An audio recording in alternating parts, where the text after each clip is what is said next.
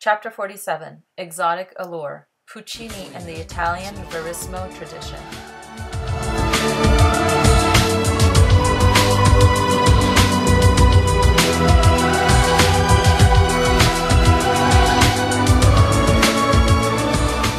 Chapter 47 just when you got used to the idea that Wagner was the only opera composer of this time, get ready to have the world as you know it tossed aside. Puccini was another very influential opera composer of this time. He was an Italian opera composer who came after Verdi. He wrote 12 operas, all of which are considered major opera works.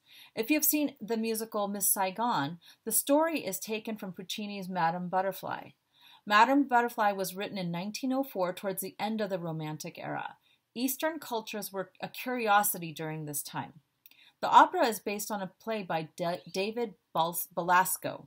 Eastern exoticism, particularly those of the Japanese culture, was a very popular theme.